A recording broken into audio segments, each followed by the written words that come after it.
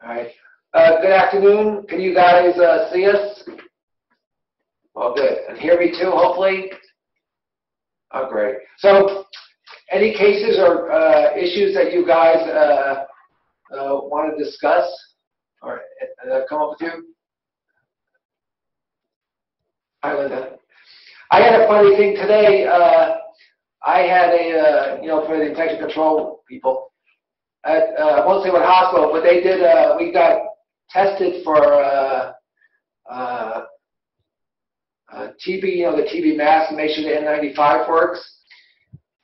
And they tested us. I said, this is funny. Why are we, they tested us on a mask that wasn't even in the hospital. So it was, uh, I just thought it was, it was funny. I said, this is not the one we use. And so, uh, you know, each mask is very different. I just, this is the dumbest thing I've ever seen. Uh, anyways, anyways, I'm going to talk today about C. diff colitis. You know, we've all dealt with C. diff colitis for the last few years, particularly. Uh, but there's a more virulent strain. C. diff has become uh, likened to a superbug.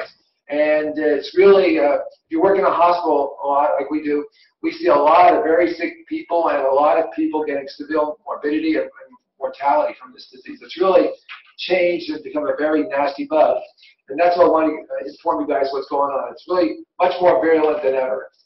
And so this is just uh, summarize uh, what uh, about pseudomembranous colitis. That I'll show you why they call it pseudomembranous in a second, but basically C. difficile colitis. Uh, the, the, morbidity and mortality weekly report from the CDC says that death. I, um, this one would let me. Uh, death, uh, excess healthcare is now reaching a billion dollars uh, spent uh, every year on uh, anything. You know, Letitia never came. All right. So a billion dollars here and a billion dollars there starts to add up. And what's gone over the last uh, decade in C. diff is that there are now about 500,000 infections a year of C. diff, which is three times what it was uh, a decade ago. And the number of deaths from C. diff in the hospital uh, is about 29,000 deaths per year, which is probably about twice as many people who die from MRSA. You know, traditionally we think of MRSA as the real worst pathogen or healthcare-associated infection, but C. diff has really uh, blown it out of the water. And we're going to go over some of the causes of why has it gone so bad. Probably number one is, and why we have antibiotic stewardship programs, is that the overuse of antibiotics has let C. diff really take off. But there's two other major reasons. One is this new virulent C. diff strain I'm going to talk about today. It is a nasty bug. It's really a super C. diff, and it's associated with much greater mortality uh, and morbidity in, in, the patients. And because of this uh, nasty strain, relapses has also gone up. So we have overuse of antibiotics, a much more virulent C. diff causing more disease, and more relapses, and that's contributed uh, to this three-time uh, increase over uh, the last decade. So half a million cases a year of C. diff. All right. So just a little background that we're going into more detail. C. diff is a bacteria. It forms spores.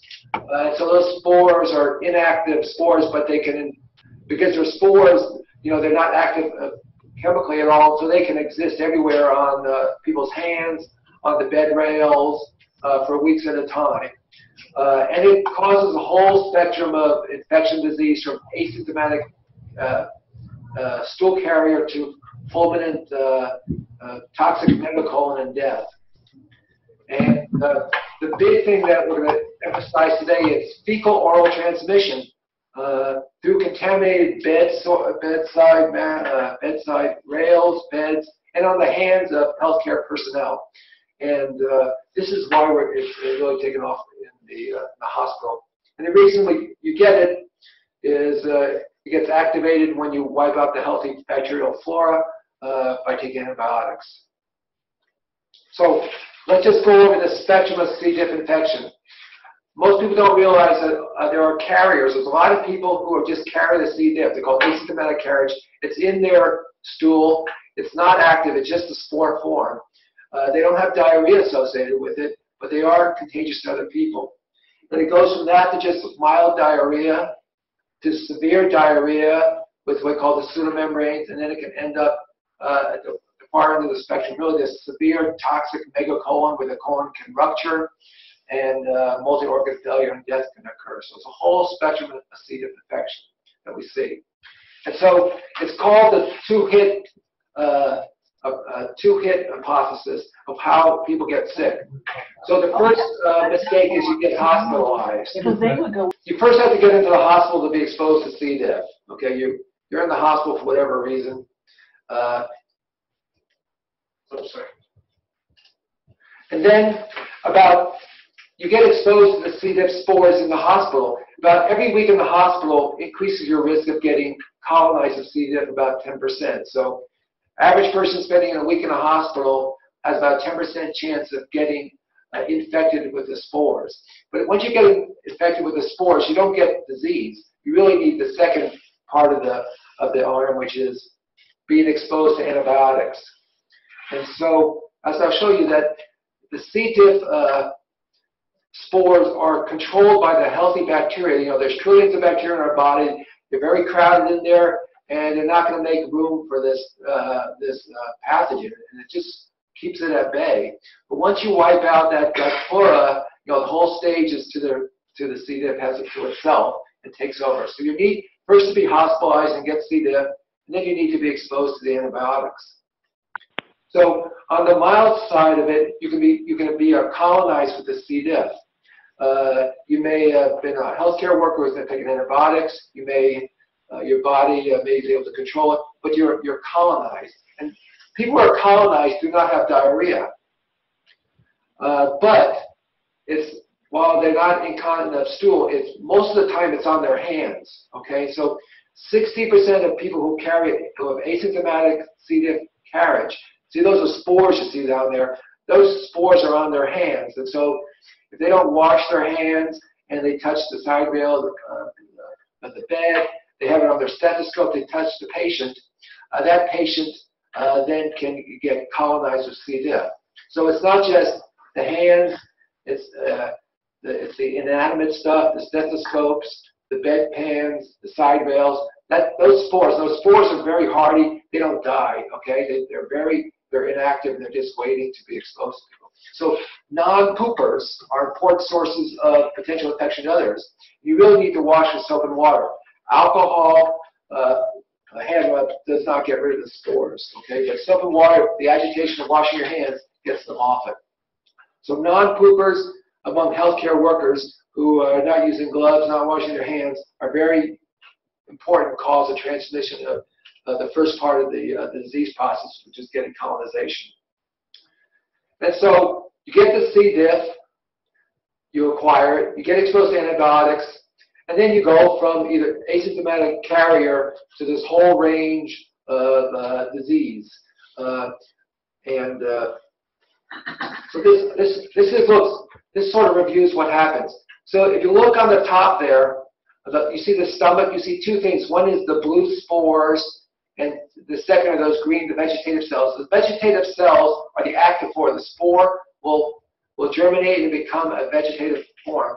But in a normal person, when it starts passing through the stomach, acid kills those uh, vegetative, vegetative spores. So it, it, basically protects the rest of the intestines.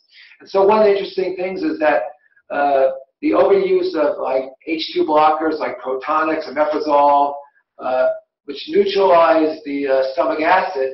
So if somebody uh, has, is on those medicines, they, they get exposed to C. diff. Instead of their stomach sterilizing uh, the, the, vegetative, the, the vegetative forms, it uh, passes right through. So that's a risk factor, not just antibiotics, but being on H2 blockers, any acid blockers increase the risk.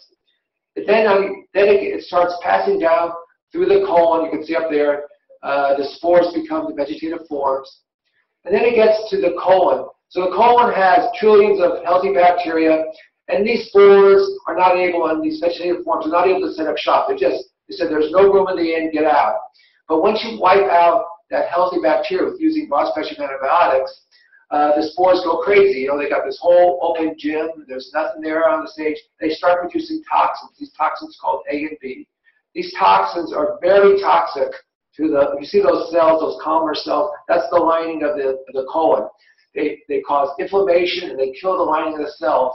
And so what happens is that this whole mucosal lining of the cell lifts up, it's dead, it causes, it looks like, when you look at it, it looks like a membrane. So they call these pseudomembranes. So if you see somebody, you know, they've been exposed to C. diff, they've either got antibiotics or H2 blockers, these, the, the spores, the inactive form, uh, become, convert to the, the vegetative form. They start producing the toxins in the colon.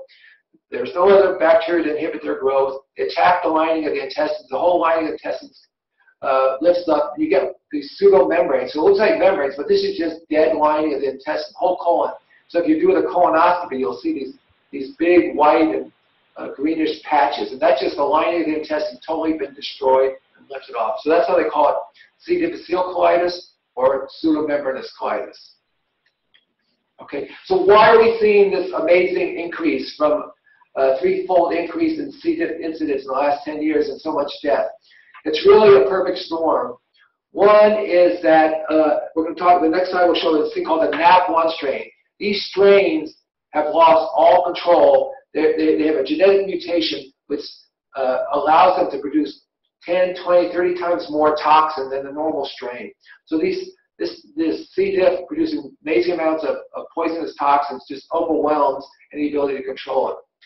Two, the C. diff used to be controlled with the antibiotics. You know, you take an antibiotic, a, you know, a, a or something like that, that would kill the C. diff in the past. But the C. diff has now developed resistance, which means it's not affected by the antibiotics we use, particularly the quinolones. So suddenly we're using ciprofloxacin, levofloxacin for the last 15 years like, you know, like it's, like it's water. It's wiping out all the healthy bacteria. It's clearing out that uh, healthy uh, microbiome, and the C. diff just shines it off and has a, has a stage to itself. So resistance to antibiotics that used to inhibit it, increasing virulence, and we have an older population, cancer patients, chemo patients, uh, old patients, dialysis patients that are much more susceptible whose immune systems can't control it. And probably on top of that, the move from soap to alcohol. Soap, washing your hands, that, that just the agitation of washing hands gets rid of the spores. Alcohol doesn't touch those spores. Okay, so we mean well by using alcohol, but we're not we're not uh, blocking the transmission. So this was this is when people started appreciating this new this new uh, antibiotic-resistant toxin-producing C. diff, which is called the NAP1 strain. This was in Pittsburgh around 2000. This was also replicated in Quebec and a few other places, but they said, whoa, what's going on here? So you can see, uh, this was in uh, University of Pittsburgh. Uh, every year, like one was blue would be colectomies and then deaths in C. It was going about five to 10 cases. Then all of a sudden in 2000, they had an amazing number of colectomies to try to save these people's lives and deaths. So they started noting this thing, and they, they, they identified this strain called the NAP1 strain. And they said, maybe it's because this NAP1 strain is not is, is resistant to vancomycin and flagyl, the drugs we use. But when they studied it in the lab, this is the C. diff telling us whether or not the antibiotic works against or not. If it's green, as you see on this, flagyl works and vancomycin works. So these C. diff strains were not resistant to the antibiotics we were using. It's just that they were producing so much toxin, it's totally, they were so toxic, it just overwhelmed the, the traditional treatments. So it wasn't because flagyl or vanco wasn't working, it was just that the toxin was overwhelming the, uh, the immune system. And on the other side, levofloxacin, which is like the same as ciprofloxacin, uh, and clindamycin, they're all red, which means that the, the, the C. diff was no longer being killed by the, uh, by the antibiotics we're using left and right. So we have, at, we're using Cipro, Levaquin, moxifloxacin, all these uh, quinolones, and they were not touching the C. diff. The C. diff is totally resistant to it. So that you use these antibiotics, you wipe out the gut flora, the C. diff uh, would take over, start producing overwhelming amounts of toxin, and uh, people were dying from it. So this is called the NAP1 strain. Uh, this is the strain of C. diff which produces overwhelming amounts of toxin.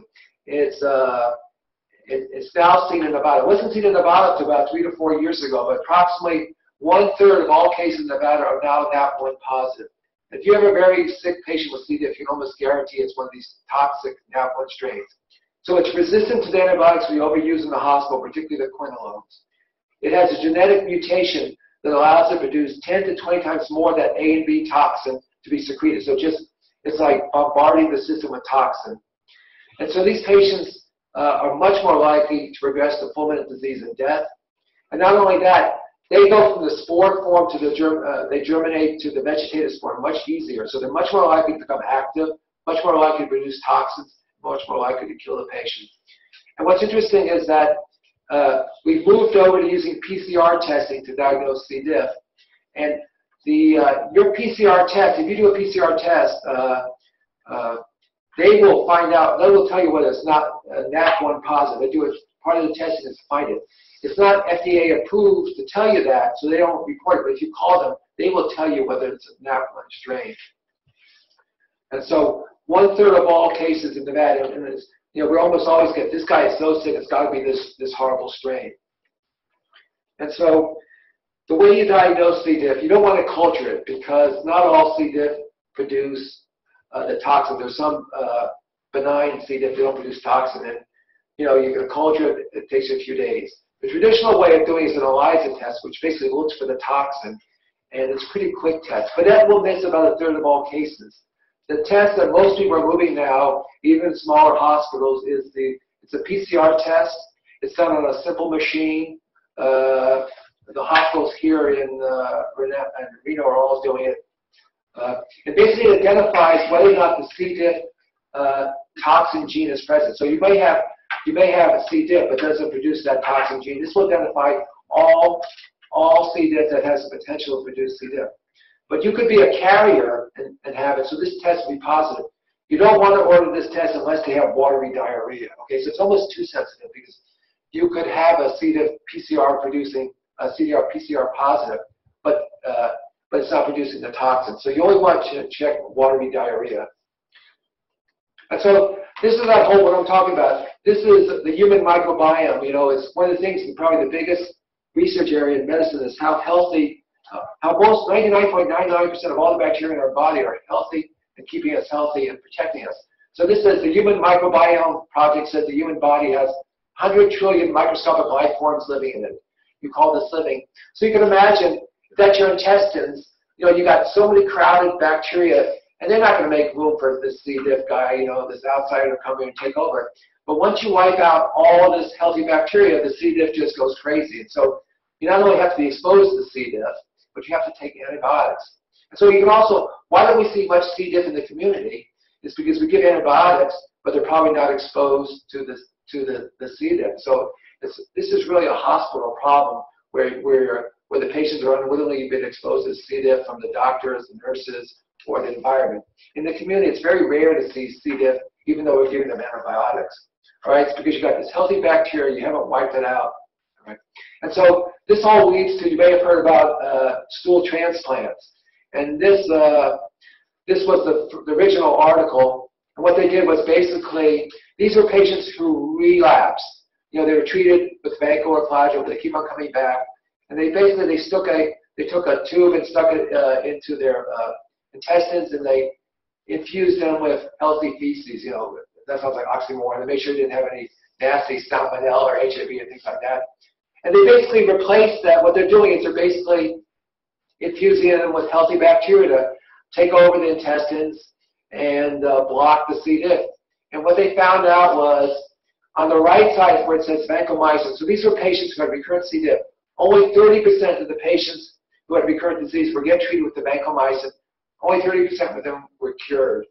But if they gave uh, an infusion of donor feces, they had 81% cure rate, and they gave them a second one because they because they didn't do it. They got a 94% cure rate. So it makes sense, you know. It's just uh, you got to keep that healthy bacteria.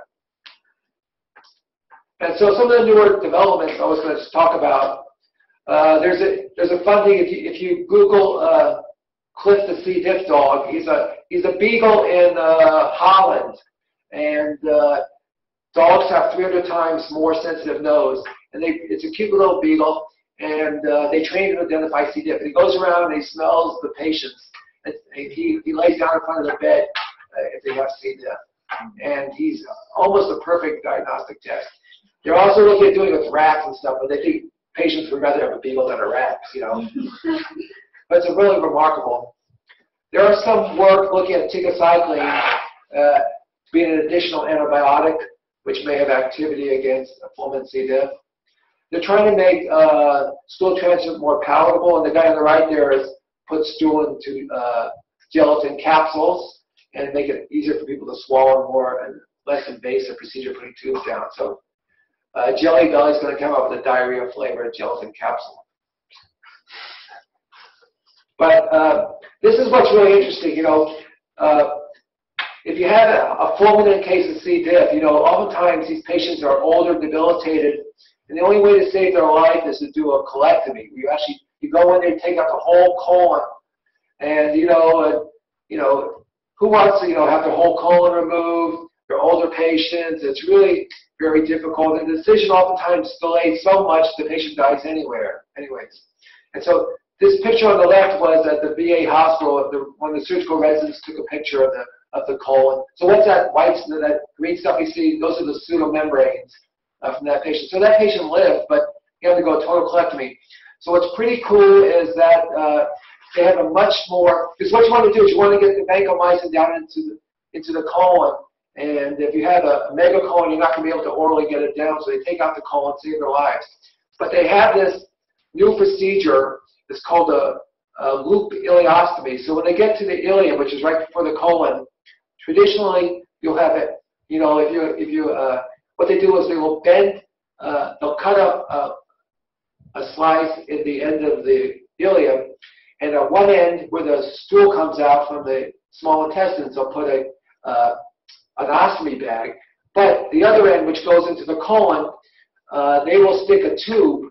And what they'll do is it's very it's a very small incision. You just open up a little ostomy bag on the other, and then you put like a little Foley or a tube, and you can then flush vancomycin right into the colon, 500 cc's of vancomycin, then you have the nurse sort of rotate the patient around and uh, uh, coat the colon. So this is a, a it's called a double-barreled ileostomy. It preserves the colon, much lower mortality. And I, I see I have my friends here from Northern Nevada. They had a lady who uh, came in about two weeks ago. Her white count was 50,000. By the following morning, she was in multi-organ failure, intubated. Her white count was 109,000. And uh, uh, the surgeon there, Dr. Murray, went ahead and did this double-barreled ileostomy. It was just a small little incision. Uh, we infused the vancomycin. The nurse shook her around, and uh, she pulled through And She, she went home just a few days ago. It was just remarkable. She was also on tigecycline. So she, uh, you know, any other place they would have taken take another colon. And so this was you know, instead of dragging your feet, and say, oh, do we do the colectomy? This is something that could be done earlier. And they've had a few studies at other places reduce the mortality from 80% down to 20%. And this is a very easily reversible procedure. So this is pretty exciting if we get uh, the surgeons and everybody to buy into this. Just a simple double barrel ileostomy. All right. Now, in case you were sleeping, this is test time. We'll go over some uh, questions just to review what we talked about. All right. You guys answer in your heads, which fact is incorrect about C. diff? Uh, causes half a million cases per year. True or false?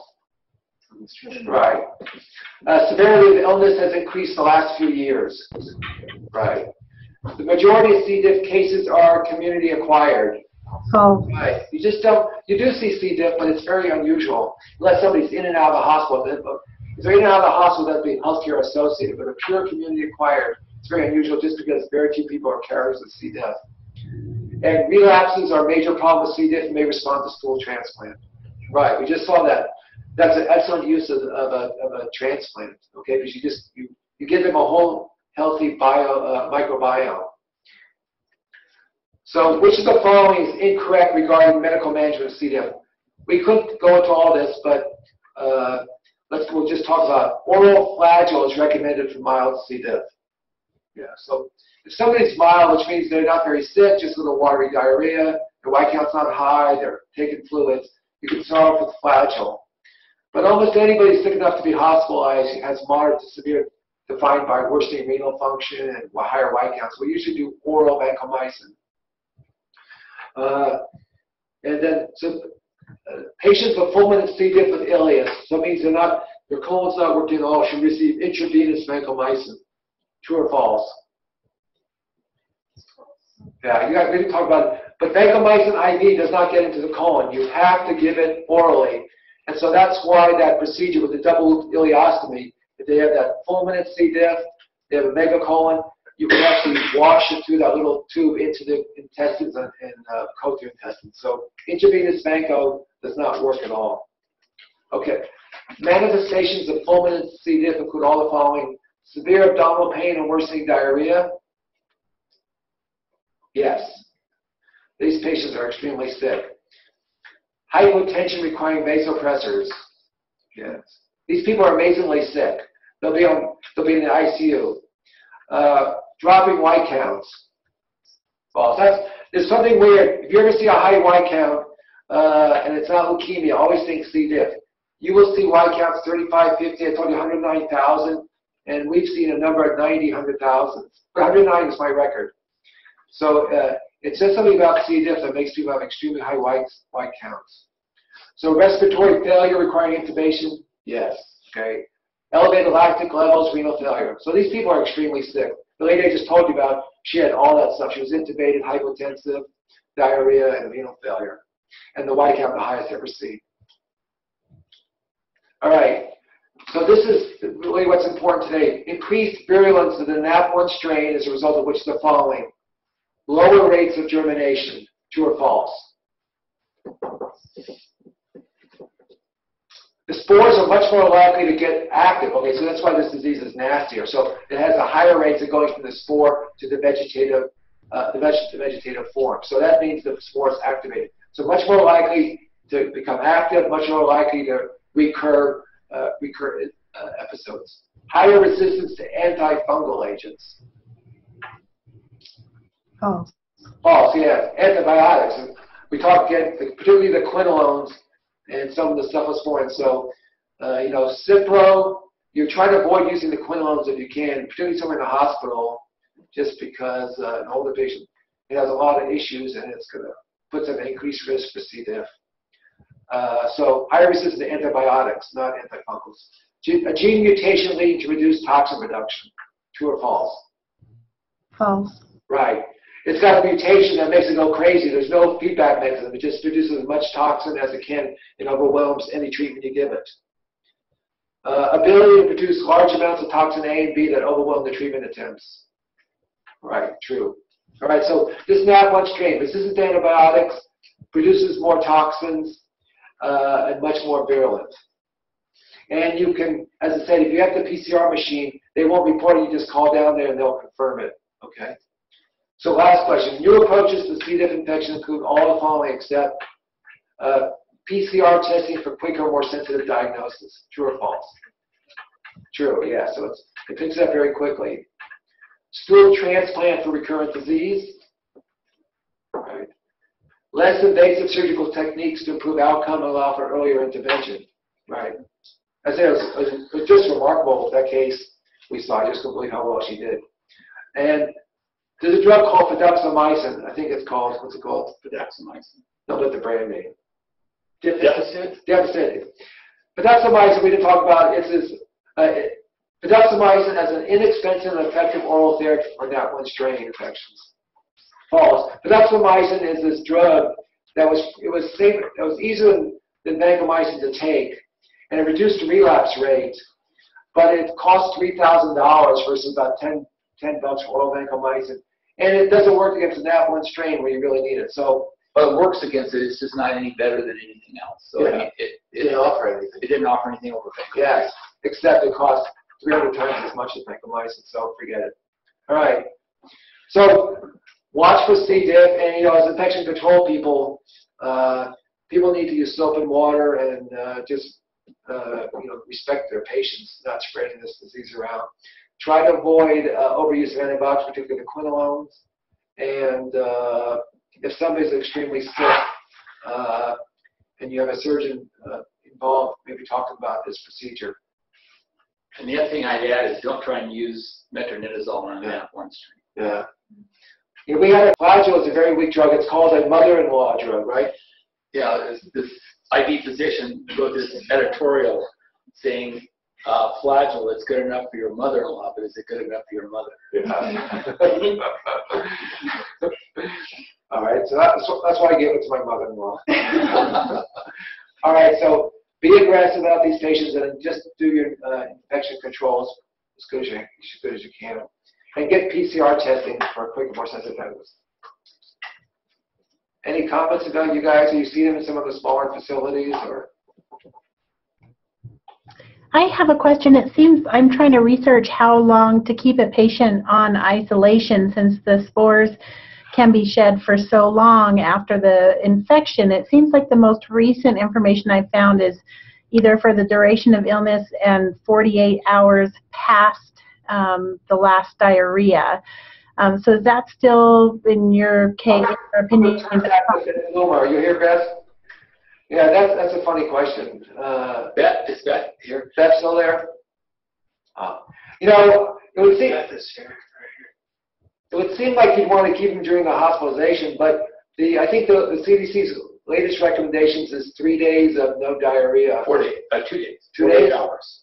But the problem is, if you take them out of isolation, that doesn't mean there aren't spores all over the room. Yes. Um, so theoretically, by CDC, you can take them out of isolation, but anybody that goes in there better have gloves and gowns because they can pick, you can pick it up by just touching against the bedpost. Yeah, they, they pass spores for weeks, or if not even longer, yeah.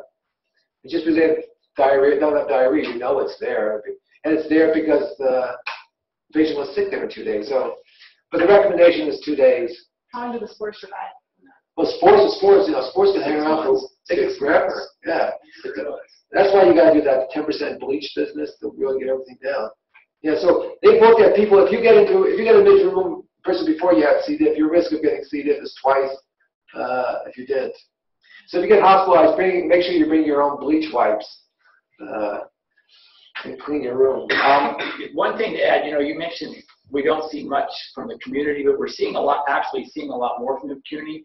But when they actually did the research to find out why, it all comes tracing back. So maybe a relative, your your mother had C. diff, comes back to the house, gets spores in the house, and you, who haven't been in the hospital, pick up those spores and start on antibiotics, and then bam, you're, you're and you, you have no relationship to a hospital, but when they really traced everything back, there is a relationship. to part of the mother-in-law. Yeah. Do like the mother-in-law.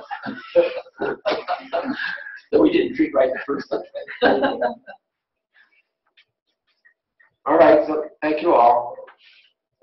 Um, actually, I have one more question for you too. So for the fecal transplant, I wanted to consider starting a program like that at our hospital. So what would be your recommended steps as far as getting something like that started? Yeah, that's a big thing because you got to go through IRB and stuff like that. Uh, there is a place, uh, nonprofit, and uh, like uh, I forgot the name of the organization, but they will send you the stool and everything. Uh, so you just basically need a motivated gastroenterologist to do it.